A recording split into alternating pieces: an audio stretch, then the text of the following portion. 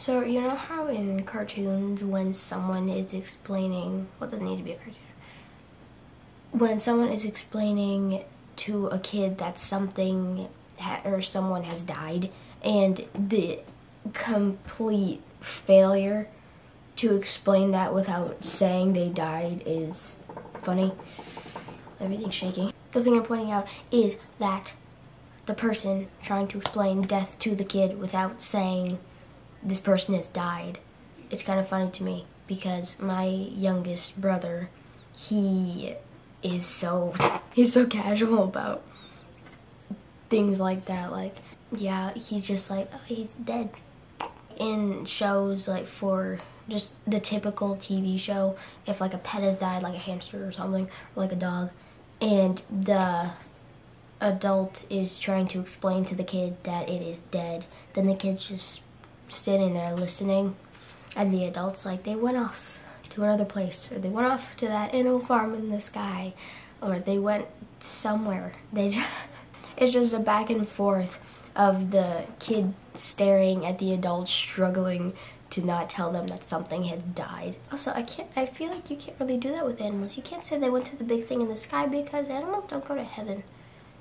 They don't go anywhere. They just die. Which I guess would make it harder to tell the kid that the animal has died because then it's just dead. I digress. I'm not addicted. It's just a phase, Mom.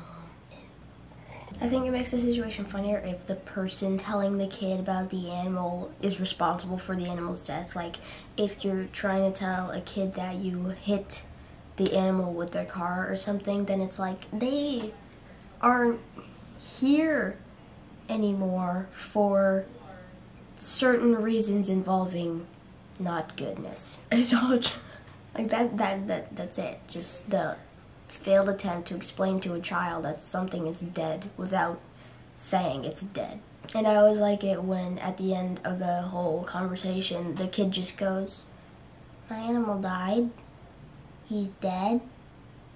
Okay. I don't know how many times that's happened in a TV show where the kid's just like, "Okay, he's dead," or it could be a totally different situation where the adult is like, "Your animal has gone to better places and he's not going to be coming back because he served his purpose with you. And then the kid's just like,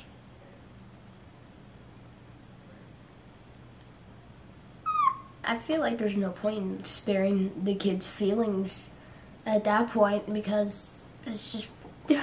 But my little brother, if I mean, if he had a pet, I'm sure he'd be sad if the pet died, but he'd just be like, my dog died.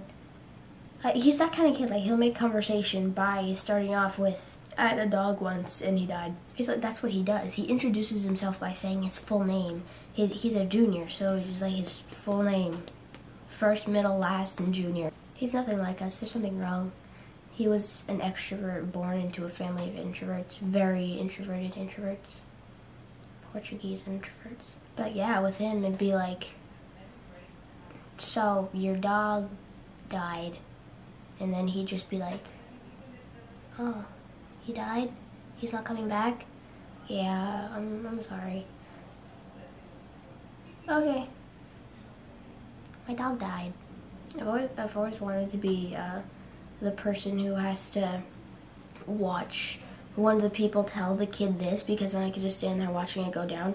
And when I feel like the person has epically failed at telling them the animal has died, I'm just like, uh, he kicked the bucket. then the kid would probably end up crying. But I wouldn't mind. What, what are phrases for dying? Stopped breathing? Yeah, he croaked. He kicked the bucket. He didn't want to be your pet anymore. so he decided to leave. There's no, there's no nice way. There's no good way you could tell a kid that their dog has died. I think, I think I've seen one once where the adult tried to like smile the whole time while telling them, but that was just creepy. Hmm. This is how I would do it.